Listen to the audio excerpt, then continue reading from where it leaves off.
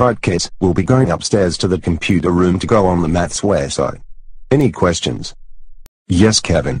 Do we get to go on YouTube? Because I want to watch Barney and then watch Interstellar 5555. No Kevin, YouTube is inappropriate for your age, and you know that everyone knows that.